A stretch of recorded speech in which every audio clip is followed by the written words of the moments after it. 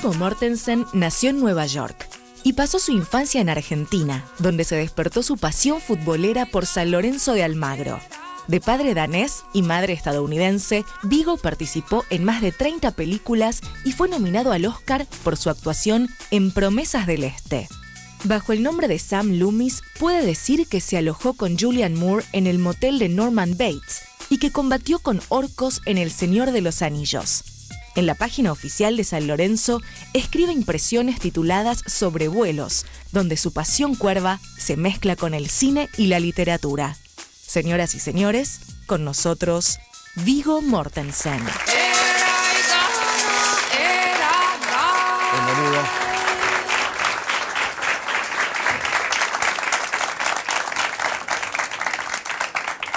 Bueno, en primer lugar te felicito por la convocatoria. Bueno, gracias por venir. Sé que tu- tuvieron que madrugar un poco, ¿no? Y bueno, vos sabés que siempre en el programa vienen alumnos, eh, en general alumnos, a veces son profesores también. En este caso son bastantes los grupos. Taller Pura Palabra, Periodismo de Avellaneda, de la Universidad de Avellaneda, Artes Audiovisuales también de Avellaneda, Imagen y Sonido de la UBA, eh, Taller de Teatro de María Julia Moreno, que son de una persistencia, de una presencia constante aquí, eh, también de la Escuela de Teatro de Agustín Aleso, muchos alumnos de, teatro. digamos. Fraternidad del Sur, eh, taller de periodismo de Soldati de la Villa 31, del periódico Mundo Villa, Voluntarios sin Frontera, ahí está, respondo la pregunta que había hecho antes, y la CLAC, la Escuela de Cine de Eduardo Ruderman. ¿Está Eduardo Ruderman? No. Bueno, saludos para Eduardo. Bueno, bienvenido Gracias. a esta que en definitiva es tu tierra, ¿no? Bueno, me crié acá, sí. ¿Te criaste acá? Sí. ¿Cómo fue eso? O sea, llegaste con tu, tu papá es... Eh, mi papá es de Dinamarca, mi mamá es eh, de Estados Unidos, pero él consiguió trabajo acá y yo tenía unos dos años, dos años y medio por ahí. Y bueno, no tuve elección en el, en el tema, ni lo tuvieron mis hermanos. Vinimos con ellos y cuando se separaron mis padres, mi papá se quedó acá y yo a los 11 años me fui con mis, mis dos hermanos y mi mamá a Estados Unidos. Sabes que no es una inmigración ni una presencia común en, en Argentina.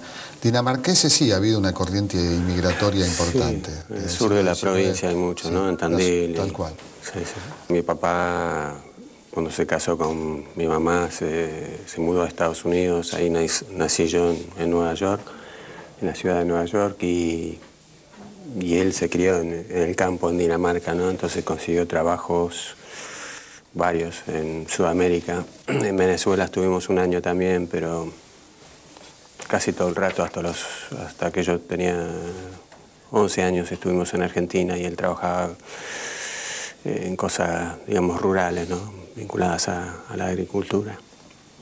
Y allí nace una de tus grandes pasiones, como lo testimonia ese escudito que tenés. ¿De qué barrio vivías?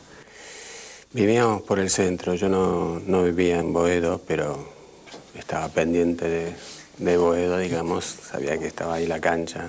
Nunca estuve adentro, nunca, nunca, pude. O Claro, sea, sos, sos joven, digamos, en términos de lo que era... Sí, me fui antes de poder ir a ver un partido ahí. Es una lástima. Pero por cábala cada vez que, que vengo, o sea, pasaron 20, 25 años eh, cuando, cuando me fui antes de volver. Y desde entonces siempre al llegar, lo primero que hago, yo llegué ayer a las 5 y media de la mañana o así, y el señor que me trajo al centro de Seiza le pedí que hiciera un desvío, entonces siempre me bajo ahí en Avenida La Plata y camino la- las dos, tres cuadras enfrente del supermercado ese y, y me subo al auto y sigo este, para ver lo que... Para colmo, a ver si se cayó. ¿no? Sigue estando además una, una empresa de hamburguesas, digamos, o sea, que, que es como que cayó la neutrónica. Sí, sí, bueno, hay de todo, pero Bueno, yo soy de San Lorenzo también. sí, me enteré. Te felicito. Bueno, pensé que Somos- podemos, podemos compadecernos juntos. En los medios, me parece, bueno, periodistas y eso, somos pocos, pero pero valientes. En el rodaje de, esta película todos tenemos un plan, eh, solo había un señor que estaba en el equipo técnico que vigilaba los camiones y, las cámaras y cosas, era el único. El, único inteligente en todo un equipo. Igual la película, la, película salió bastante bien a pesar de todo, ¿no? Sí, sí, sí. Salió bien.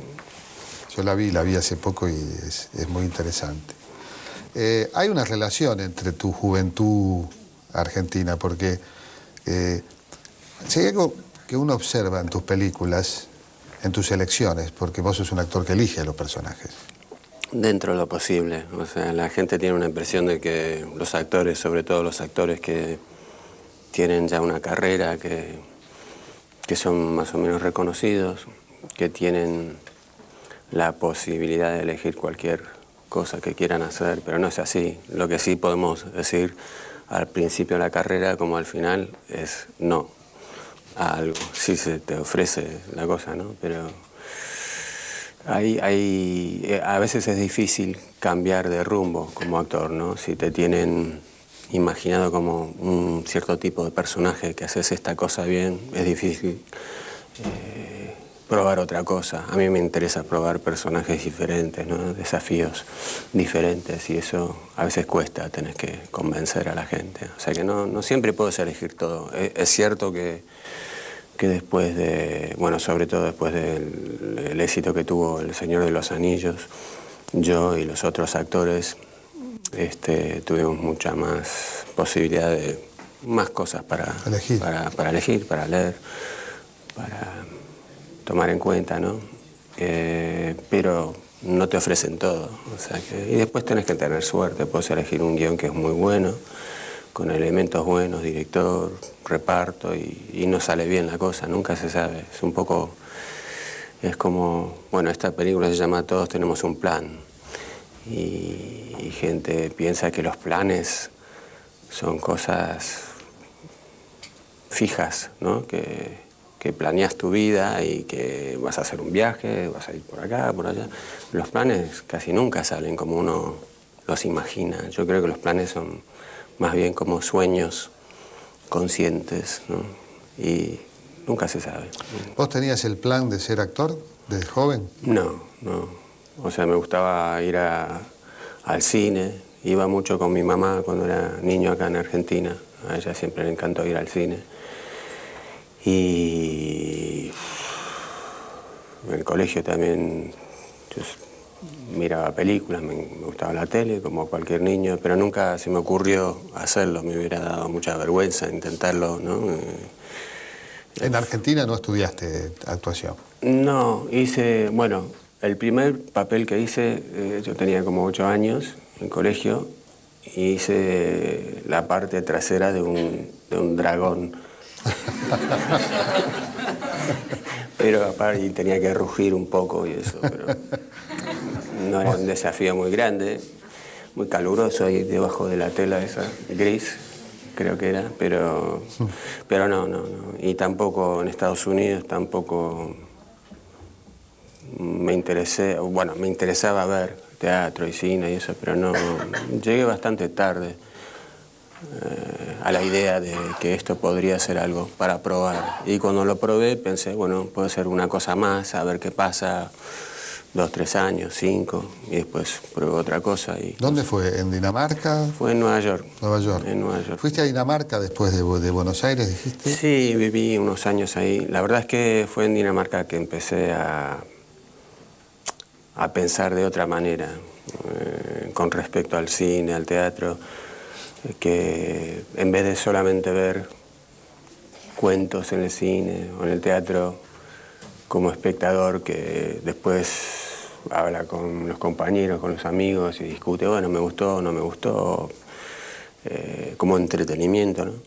Empecé a preguntarme cómo, cómo hacen esto, cuando hay una película muy buena, sobre todo cuando empecé a ver eh, cine de autor, digamos, y películas que no, había visto, ¿no? A los 20 años por ahí empecé a ver películas de Dreyer, de Bresson, italiana, japonesa, de todo. Y, y habían actuaciones, momentos que me impresionaron tanto que, que empecé a, a preguntarme cómo se hace esto, que yo pueda sentir que esto es verdad que me conmueva, que me haga pensar en, en mi vida de otra manera, al menos digamos, por una hora después, a veces días, ¿no? Y lo pensás el día siguiente, ¿y esto qué, bueno, este, esto qué vínculo tiene con mi vida? Y a lo mejor tengo que mirar las cosas de otra manera. ¿Cómo es que lo hacen así tan bien a veces? Entonces era por curiosidad, cuando fui a, volví a, la ciudad de Nueva York, eh, de Dinamarca, porque tenía una novia que se murió, decidió irse para allá, entonces yo la seguí. Y, pensé, voy a probarlo acá, que no conozco a nadie, y si lo hago muy mal, no importa, ¿no? Y ahí empecé, probé y por suerte tuve, tuve un maestro muy bueno ahí, eh, Warren Robertson se llama, y empecé a estudiar ahí eh, en un taller de teatro y él y dijo, debería seguir con esto porque, porque tenés cierto talento, tenés posibilidades. Seguramente si hubiera sido otro maestro hubiera dicho, no, estás loco, no sé lo que estás haciendo, porque yo no tenía mucha información, no tenía ninguna formación como actor en ese momento. Pero, no sé, nos hace falta a todos, me parece, alguien que nos dé un poco de confianza, ¿no? que nos ayude que nos empuje un poco. Y también soy un poco terco, la verdad, soy un poco testarudo, entonces cuando no me salía la cosa, los primeros años seguí porque sentía curiosidad, cada vez más, cómo se hace. Yo creo que también puedo hacer esto, quiero probarlo, me interesa ver cómo es la cosa. Y para mí lo de hacer cine, a veces teatro, es un aprendizaje que, nunca termina, es interesante. Ves una película y te puede cambiar la idea de lo que es el cine, lo que es la actuación, las posibilidades, ¿no? De, qué tipo de cuento se puede contar, cómo se puede demostrar un sentimiento de una manera diferente, más real, más, más de verdad, ¿no? Todas esas cosas, si uno quiere, uno puede seguir aprendiendo, es un, es un oficio lindo para eso. En general, la formación del actor está ligada a la actuación escénica, ¿no? Eh, recién en los últimos tiempos hay todo un, estudio específico de actuación en cámara. Mm. ¿Cuál es la diferencia para vos? En mi experiencia no hay tanta diferencia. No debe haber. La construcción, sobre todo, del personaje es igual. Sí, claro, que si estás en un espacio grande, sin micrófono tenés que proyectar más, pero aparte de eso, y a veces tenés que estar obviamente consciente de los gestos o tu posición, ¿no? para que se vea lo que está ocurriendo, pero eso también para la cámara. Eh, si yo me lo creo como actor, lo que estoy haciendo, lo que estoy diciendo, si están pasando cosas, si estoy pensando cosas, sintiendo cosas de verdad, aunque vos no sepas lo que son, si yo me lo creo, es más posible que te lo creas vos. Y eso va para el teatro y el cine igual. Yo el año pasado volví al teatro, eh, hice eh, una obra de Ariel Dorfman. ¿no? ¿En dónde? En... España, en Madrid. Ah, en Madrid. Eh, Purgatorio se llama, se basa en, en parte en la mitología griega, ¿no? En, bueno, en Jasón y Medea, son un hombre y una mujer que se pelean durante una hora y 45 minutos, discuten, tratan de perdonarse. no, es muy original el principio. no, no, no, lo vemos todos los días en casa. ¿no? Este, no, pero fue muy interesante hacerlo y me di cuenta que no, no era tan diferente. Primero el miedo de salir y mm. no es una toma que, que, pueden cortar y empezás de nuevo. Si falla algo tenés que solucionarlo. No claro. claro. Claro, y eso, pero eso es divertido. Yo lo veo así el cine también. Cada toma para mí es como tirarte al vacío y a ver qué pasa. Confías en la preparación que hiciste y sobre todo en tu compañero, tu compañera ¿no? de actuación y en el texto. Bueno, vamos a ir a una pausa y seguimos conversando con Vigo Mortensen.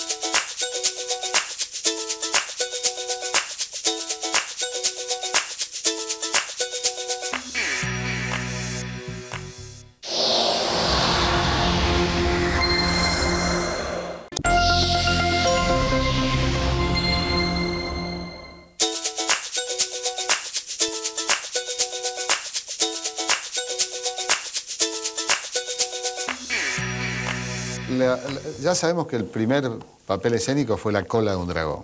¿no? Sí. Este, eh, dice Un que éxito. elogiaron mucho el trabajo de la cabeza del dragón, lo cual Sí, sí. Era más grande, más alto el chico, entonces Más estaba acá, destacado. yo estaba acá. ¿Y cuál fue tu primer película, tu primer participación en una película? Eh, Yo recuerdo Psicosis, La primera donde salí, donde no me dejaron en la sala de montaje fue este mm, único testigo de Peter Weir. Ah, claro, testigo, acá le- la conocemos como testigo en peligro. Y vos haces del Amish. Sí, algo del hermano de... Bueno, ahí fue la cosa donde paró por un rato lo del teatro, porque estaba, yo vivía en Nueva York entonces, donde había empezado como actor. Y un día yo había ido a hacer una prueba para, para, para Shakespeare en verano, cada verano en el Parque Central de Manhattan hacen Shakespeare, ¿no? Y hacían eh, ese año creo Enrique V. Entonces hice una prueba y me ofrecieron un papel. Estaba muy contento.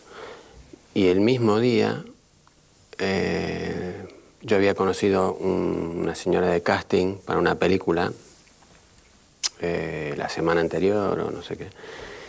Y, me, y de repente llaman a la gente mía y dicen, te ofrecen un, papel en una película de Peter Weir. Bueno, yo conocía su trabajo Gallipoli, por ejemplo, que me Excelente, encantó. excelente director, Sí, australiano. Sí, sí, sí, muy La buen- última ola, jar- jardines eh, colgantes. Sí, sí.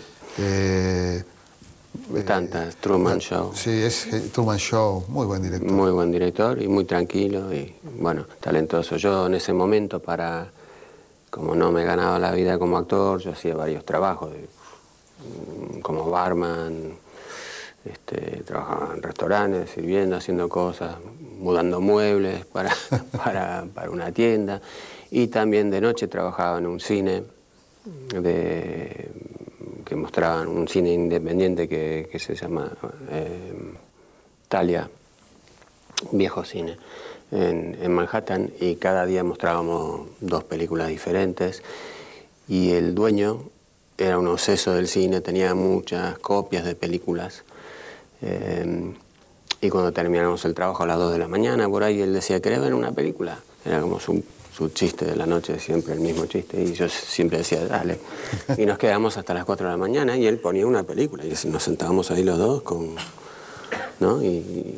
Y con una cerveza y vimos la película. Y Gallipoli había visto y otras de, de Peter Weir. Entonces lo conocía mucho. Dijeron, bueno, ¿querés trabajar con él? Sí, claro. Bueno, es al mismo tiempo que el teatro. Y dije, bueno, pero es un, es un día de trabajo nada más en esta película. No sé, digo dos palabras en alemán, como este Amish, y nada más. Mejor hago el teatro. Y la gente dice, vos podés hacer teatro cuando quieras. Eh, el cine, especialmente viviendo en Nueva York, más difícil conseguir un papel en el cine. Mejor haces esto, es un buen director y después podés volver al teatro. Entonces, total que me fui para allá, para Pensilvania, donde se rodaba, y hice ese día de trabajo y el tipo me vino a hablar después, dice, ¿tenés que volver a Nueva York? Bueno, sí, vuelvo en el tren esta noche o mañana. Y dice, si no tenés otra cosa para hacer, quédate un rato. ¿Podés? Y yo, sí, porque te voy a hacer el hermano de, de Godunov, el bailarín ruso ese que hacía del, Sí, como el, el rival de Harrison Ford para la chica, ¿no? El Amish. sí. Eh, le vamos a poner un hermano, como te parece, más o menos sos rubio como él y eso. Y a ver, ¿y qué hago? Bueno, eso lo inventamos. Eh, vamos viendo, lo seguís, lo ves, ves lo que está pasando entre ellos. Y fue una, una cosa interesante.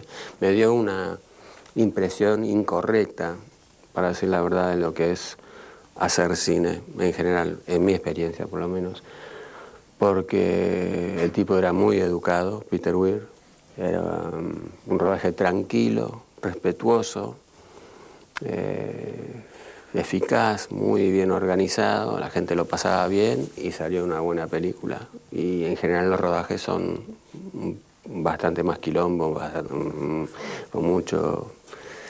Bueno, hay, hay de todo, claro, pero en general los directores no son tan tranquilos y tan, tan inteligentes, ¿no? Has hablado muy bien de Cronenberg.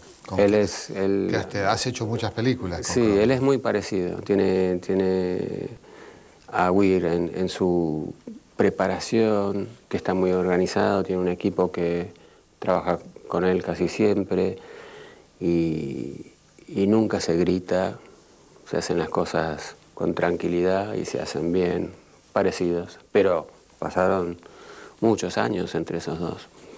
Y El Señor de los Anillos, que como dijiste, eh, bueno, tengo entendido casi no la haces El Señor de los Anillos, ¿no?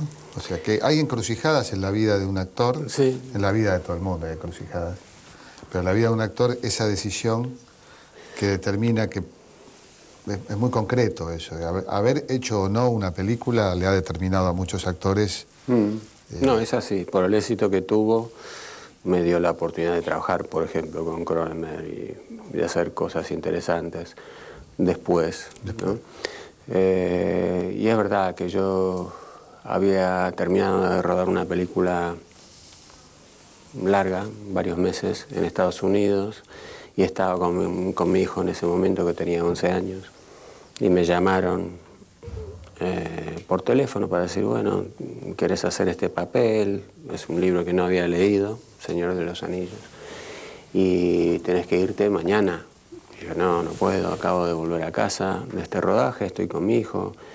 Y, y dijeron, no, pero, y digo, ¿cuánto dura? Bueno, termina no sé, diciembre o, o enero. Ah, bueno, y era octubre, me parece y del año que viene. Dije, ah, ah, no, entonces no, no puedo porque...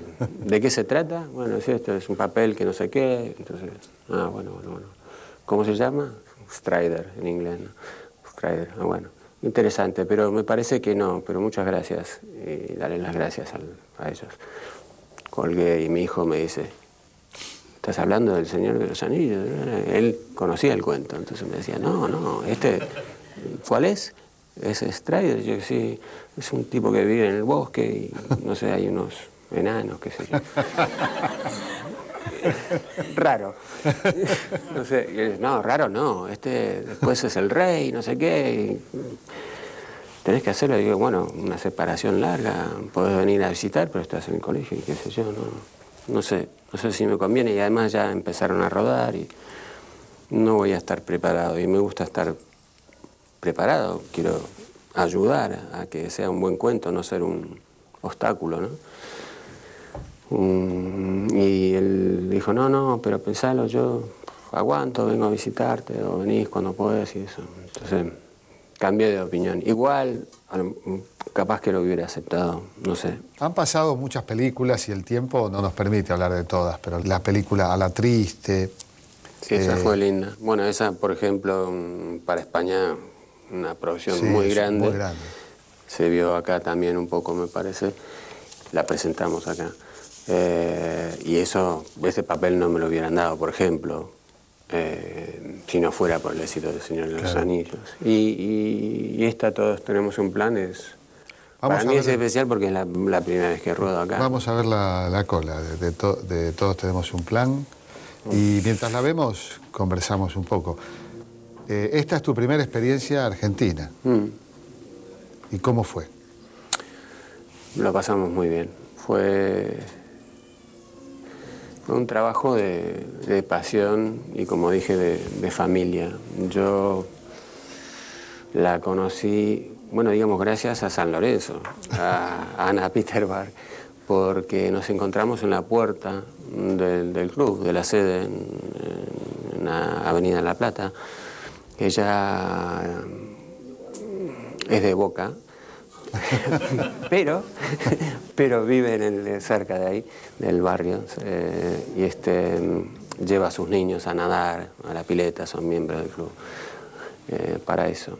Y nos encontramos en la puerta y dijo, ah, yo soy directora, bueno, soy escritora, voy a dirigir, quiero dirigir esta película y no sé si te lo puedo hacer llegar. Y hay, mucha gente que me dice eso, que me, da un guion o me lo envía y no sé qué. Hijo, no sabía que te iba a encontrar, claro, y no lo tengo conmigo, pero yo dije, bueno, te doy mi dirección, me lo envías y cuando puedo leo el guion y ya está.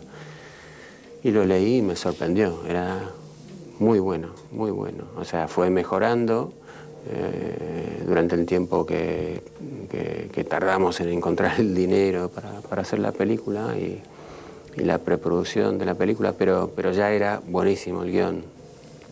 Y dije que sí. Y, y nos conocimos poco a poco cada vez que venía a Argentina para presentar una película extranjera o para, y, o para ver a San Lorenzo eh, jugar.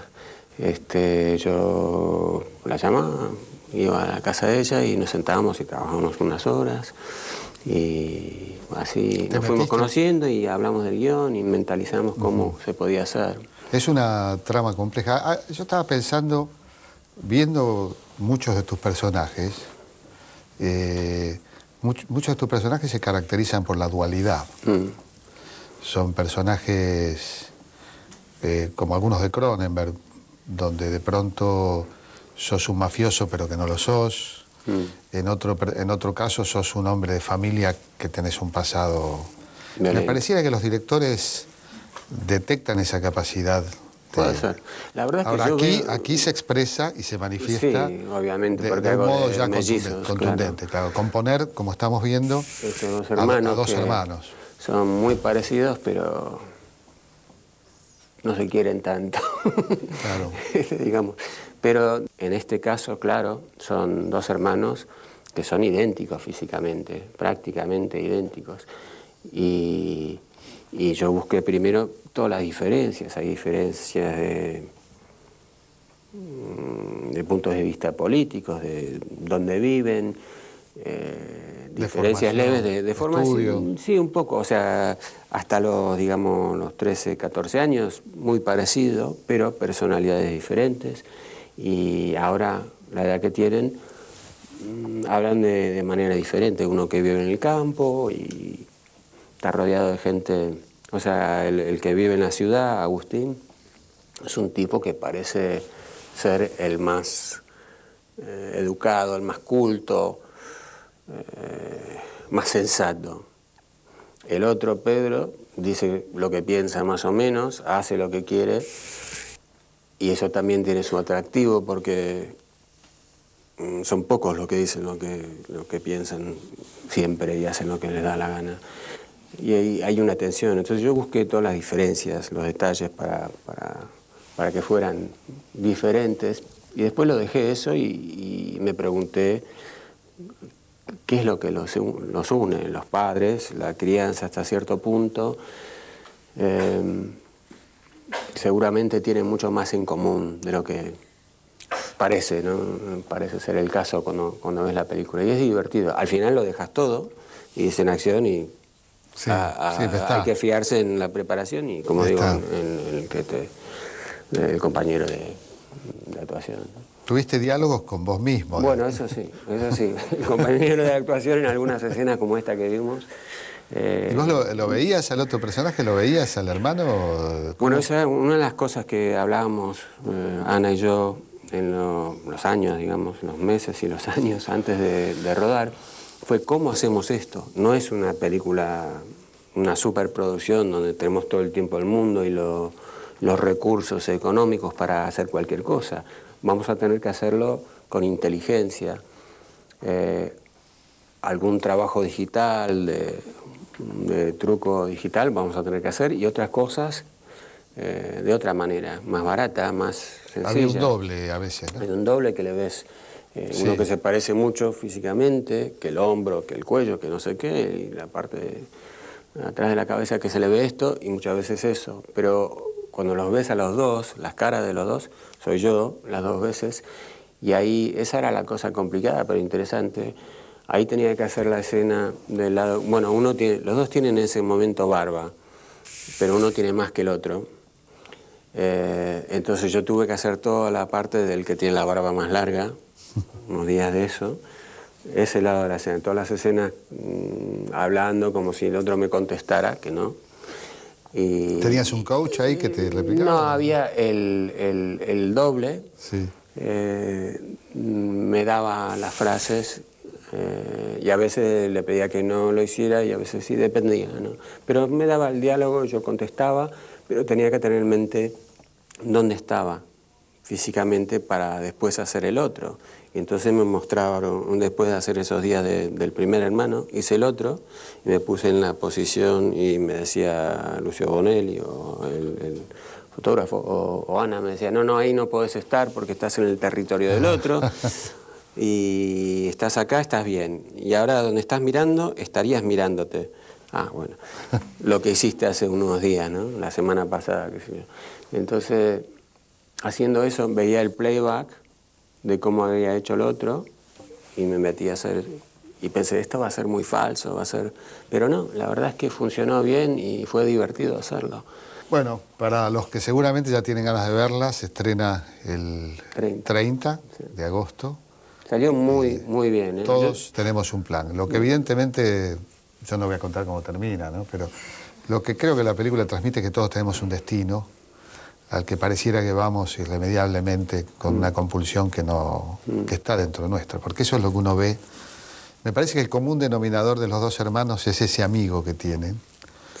Y bueno, con actuaciones como la de Sofía Gala. Eh, eh, está muy bien. y Daniel Fanego. Daniel Fanego que hace un... Y Soledad Villamil. Soledad Villamil, personajes, todos personajes de una tremenda ambigüedad, eh, muy, muy a tono con lo que es el thriller negro, ¿no? Sí, totalmente, cine negro, donde todos, por muy buenos que parezcan ser, el papel de Soledad Villamil, la mujer de Agustín que no entiende por qué, qué le pasa, Rosa, el papel de Sofía Gala, que es como la conciencia del cuento hasta cierto punto. Todos tienen sus, sus fallos, cometen sus errores, tienen sus, eh, sus tristezas, digamos. Eh, todos se equivocan en algún momento. Eh, como, como, siempre es el caso del cine negro. Una cosa, y eso lo vi al leer el guion, la primera vez dije, esto es genial, es muy, muy bueno. Y una cosa que me di cuenta rodando era que esto, esto no parece ser una película rodada por un director, una directora que, hace su primer película. No parece, yo creo que esto, cuando se termine de montar, no va a parecer... Eh, ópera prima. Ópera prima, para nada. Y es así. La ves y decís... Sí, tiene un gran profesionalismo. Igual hay una hay una tradición de las óperas primas muy particular, ¿no? que un solo ejemplo, El Ciudadano Orson Welles. Mm, sí, claro.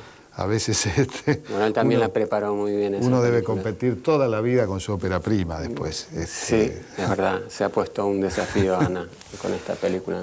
Bien, vamos a ir al último corte y después estamos con algunas de las preguntas de los invitados de hoy.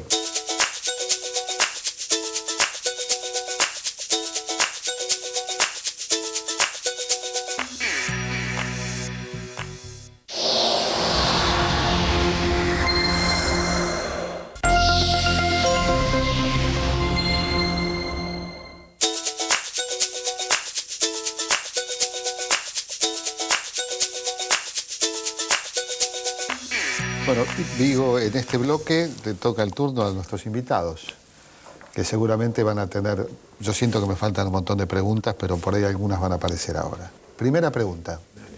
Hola, eh, mi nombre es Martín Schwarman del estudio de María Julia Moreno. Bienvenido. Eh, quería saber, me estoy muriendo de nervios, quería saber eh, cómo es tu proceso antes de encarnar un rol en cine o en teatro, si seguís algún método o si cada personaje lo tomás con un enfoque distinto. Bueno, hay esa, esa cosa que dicen, bueno, es un actor de método o es un seguidor del método. Y yo siempre cuando, cuando me preguntan si soy eso o dicen, sos eso, digo, ¿pero qué es eso? Dame una definición. Para mí un método es algo que funciona o no, una manera de hacer la cosa, ¿no? y hay tantos métodos como, como, personajes, como actores, como, o sea, no creo que hay algo que se llame el método. Pero cada uno tiene su manera de prepararse, depende del personaje, depende del cuento, depende de cuán cerca esté eh, su personalidad de, la mía, ¿no? Hay gente que hace cosas, por ejemplo, el Promesa del Este, tuvo que aprender ruso y hacer ciertas cosas. Eh, que físicamente se mueve de una manera diferente, habla de otra manera, tiene un sentido del humor diferente al mío. Esas son cosas que tuve que trabajar más, haciendo de Sigmund Freud mucho trabajo preparativo que era porque era un tipo muy diferente. ¿no? Eh, yo no me parecía, no hablaba así, etc. Pero en general siempre hago una cosa igual, que también te lo había dicho, eh, y eso es preguntarme qué pasó desde que nació hasta la primera página del guion. Y eso te da todo, eh, como preparación. A veces lo puedes hacer en concierto con, con, el director o la directora. Con Cronenberg siempre he tenido esa relación de preparación donde hay mucha comunicación previa. Con Ana Peteroar, eh, para todos tenemos un plan, tuve lo mismo, pero no siempre es así, casi, casi nunca es así. Eh, pero da igual, eh, a mí no me importa eso, yo me divierto muchísimo. Muchas veces la mejor parte de todo el, recorrido de una producción es el trabajo previo. Yo siempre cuento con eso como divertimento, eh, aprendizaje, educación, inspiración y después si el rodaje no es muy divertido y la película no sale bien, siempre tengo lo que aprendí haciéndolo, así que eso es lo que hago yo. Eh, la palabra método se me ocurre bastante cercana a plan. Todos tenemos un método, pero es como el plan. Sí, suele irse por ahí, ¿no? Eh, estaba pensando en una cosa que, bueno, estoy intentando contestarte a vos, como a los otros, como, como a vos, eh, con sinceridad, sin esconder nada, pero me presento de la forma que me conviene, como decía, y me hizo pensar en, algo de, que dijo, que escribió Adolfo Bioy Casares, que era sobre esto de, la presentación, lo que hacemos. Y él decía, la vida es difícil, más o menos, eh, si me acuerdo, la vida es difícil para estar... Eh, para estar bien con, con uno mismo hay que decir la verdad y para estar bien con el prójimo hay que mentir. y yo creo que es un poco así. ¿no? Salvo si sos una persona que algunos decimos que, está loca y que, bueno, dice cualquier cosa. Pero en general es así, me parece. Eh, es como en una historia violenta, ¿no? Donde el personaje toma una identidad sí. que está disponible. Y se lo cree totalmente, se inventa una vida. Pero llega, a pasan años y llega a creérselo. O sea, le, choca un poco cuando vienen los tipos que le dicen, vos no sos ese, vos te llamas Joey, no te llamas Tom, y sos un tipo de Filadelfia, no sos de acá. Y él como que no, se lo, se lo cree totalmente, es una forma de, de locura, me parece. Lo del actor también puede llegar a eso, depende de cuán largo sea el rodaje, ¿no? Que al final hay actores que son muy exigentes y extraños en eso. Yo nunca he hecho eso, pero hay, hay actores que, que, que exigen que todo el equipo le llame por el nombre del personaje. Me parece un poco demasiado, eso no hace falta. También es un juego, al final hacer cine, aunque sea una historia muy violenta o perturbadora o eh, de, mucha emoción, siempre es un juego, es jugar, es lo que hacíamos todos a los cuatro, cinco, seis años, ¿no? Eh, es una manera de hacer lo mismo desde mi punto de vista. Eh, es algo muy, mucho más fino, más detallado, un trabajo más intenso, eh, intelectual, eh, consciente, pero viene a ser lo mismo.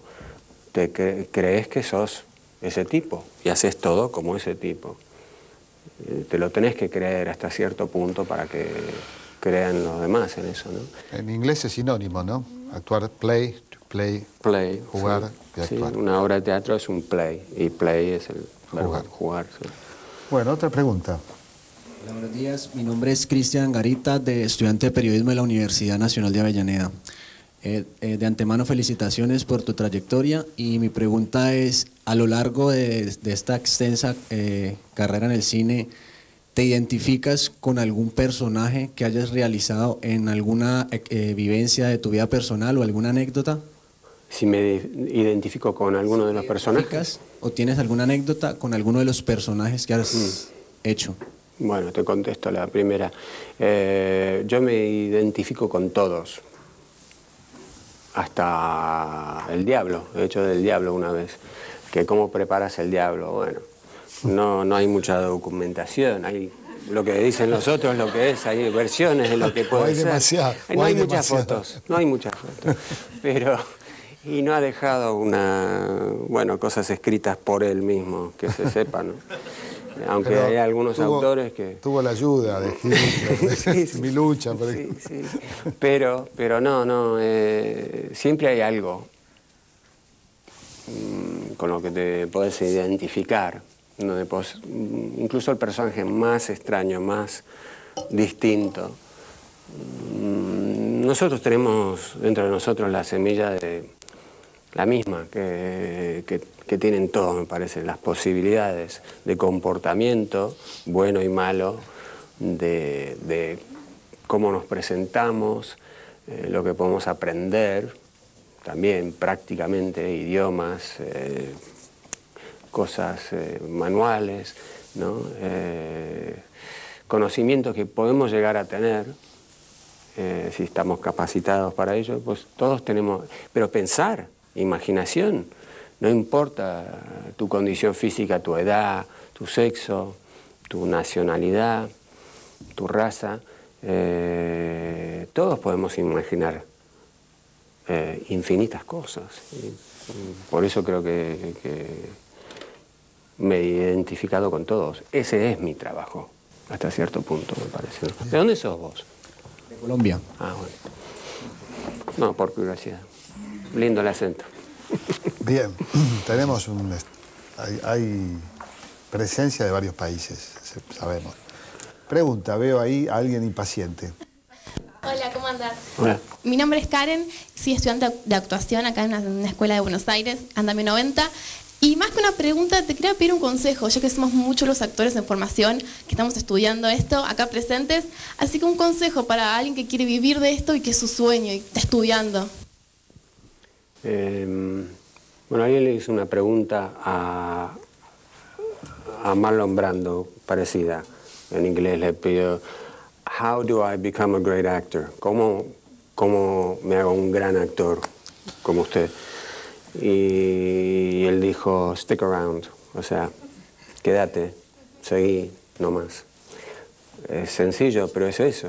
Eh, tenés que tener suerte pero para la suerte, si te llega un papel, si te llega una posibilidad, una prueba primero y después un trabajo, tenés que estar preparada.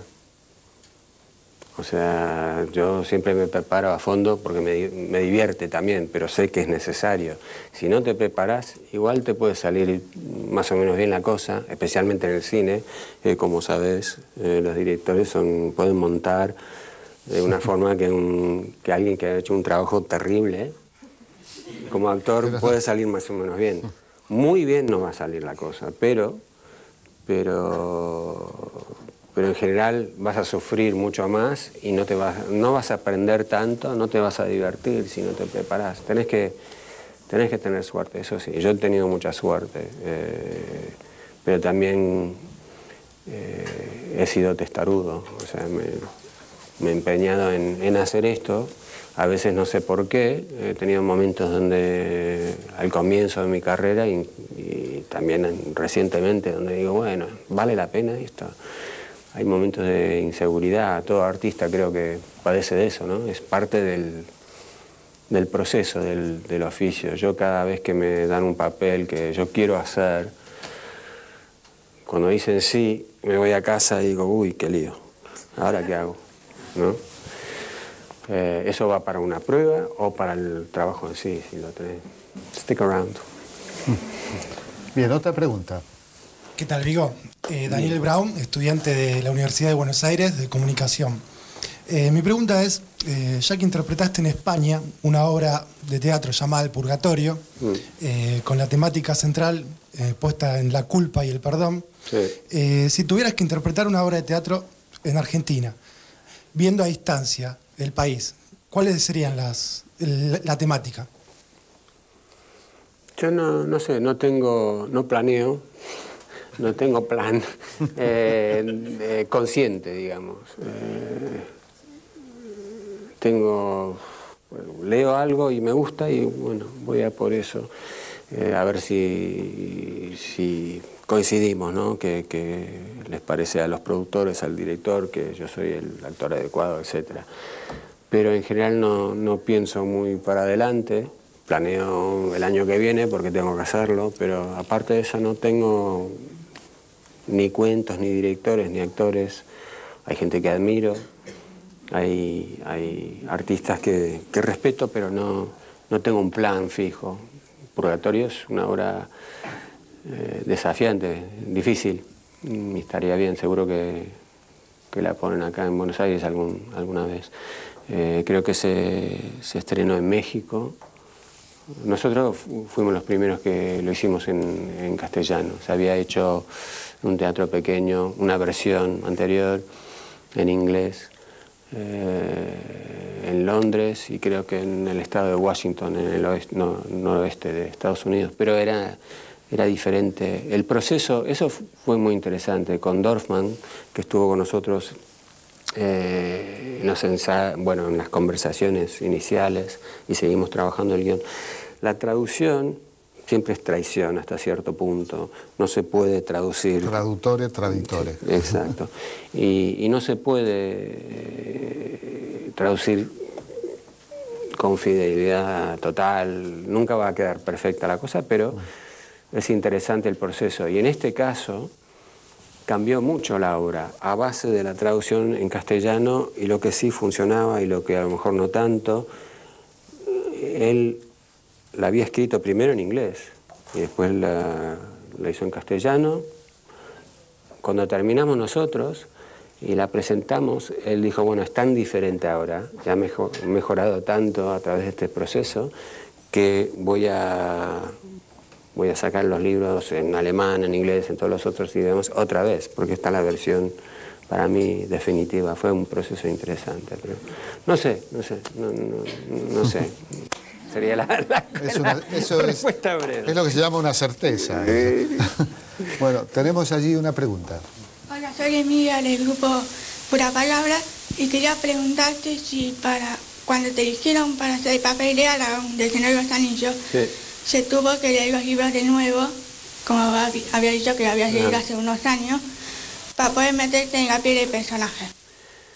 Bueno, el, para para el papel de Aragorn El Señor de los Anillos, yo cuando, cuando me ofrecieron el, papel, yo no había leído. Había leído El Hobbit cuando tenía, qué sé yo, 15, 16 años, pero El Señor de los Anillos nunca lo, nunca lo había leído.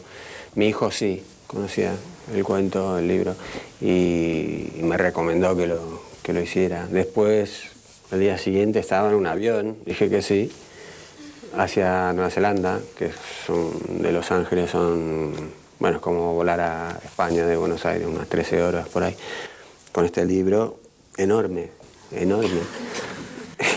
y no dormí, ay. bueno, voy a leer un poco más esto. Pero me fui calmando y después los primeros días que estuve ahí, terminé de leerlo y fue una referencia para mí y para todo el elenco eh, durante todo el rodaje habían libros de, Tolkien por todos lados, en el set todo el rato.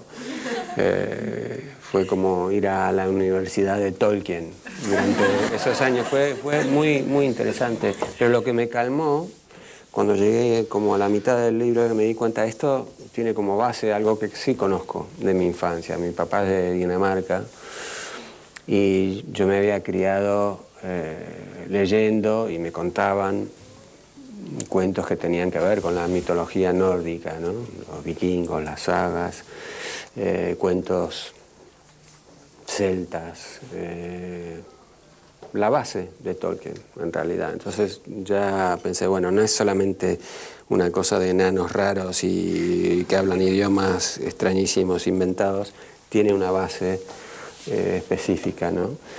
y eso me ayudó y me entusiasmó también, porque era algo que yo podía aportar, cosas que ya conocía. O sea, la mentalidad del, del personaje de Aragón tiene mucho que ver con, con personajes de, de las sagas como Sigurd, eh, la saga de los Volsung, por ejemplo, y otros, no sé. Ese fue el proceso, pero no, no lo había leído y tuve que leerlo rápido. bueno, Vigo, la verdad que todo un largo camino recorrido, de Buenos Aires, de New York a Buenos Aires, de Buenos Aires a Dinamarca, de nuevo a Nueva York. ¿Cómo has vuelto muchas veces a la Argentina? Sí. Eh, en vos convive un poco, hay una parte de tu identidad que la sentís argentina. Totalmente, sí. Bueno, son, son años importantes, ¿no? Los, los, primeros años de tu vida, los primeros 10 años. Dicen, dicen años. que la patria es la niñez. Sí. Y uno puede al mismo tiempo no creo que la identidad deba ser exclusiva. Como el amor, uno puede repartir un poco. Sí, pero más que, viajo, más pienso que, que, puedo estar cómodo en cualquier parte, pasarlo bien en cualquier parte. Yo creo que, que el arma más potente antiguerra es, es el viajar. Se puede hacer por, por internet, pero físicamente también es, eh, bueno, es lo mejor. Si estás yo me fui a Rusia por primera vez por, por razones de trabajo para investigar lo del, personaje de Promesa del Este y aprendí muchas cosas y pensé de otra manera. Una vez me fui a, Teherán, a Irán. Cuando ves a la gente, ves que hay abuelos, hay gente enferma, hay gente en silla de ruedas, hay chicos jugando al fútbol en el parque, igual que acá. Eh, hay accidentes de tráfico, hay perros, hay gatos muertos, qué sé yo. Es mucho más difícil que, te pueda convencer tu presidente o tu presidenta que tenés que atacar a ese país, verlo como una cosa muy distinta, eh, ¿no? extraña, porque nos parecemos mucho más de lo que nos cuentan los que quieren separarnos. ¿no? Y yo, al haber viajado tanto y trabajado y vivido en, tantos sitios, me siento muy, muy cómodo en muchas partes. Tengo vínculos obviamente fuertes con Dinamarca, por mi familia y por, por haber vivido ahí. Eh, pero me siento muy cómodo y contento cuando vuelvo a Nueva Zelanda, a España, a muchos sitios. Pero, pero es verdad que al subir al avión en Madrid, que era de aerolíneas argentinas, lleno de argentinos, ya me sentía diferente, mejor. ¿Sabes? Volando hacia acá. Hay, hay algo, esa formación mía acá eh, me marcó para siempre y es así. No tenemos dudas y el escudito de San Lorenzo lo atestigua. Aplaudimos a Vigo. Gracias a todos.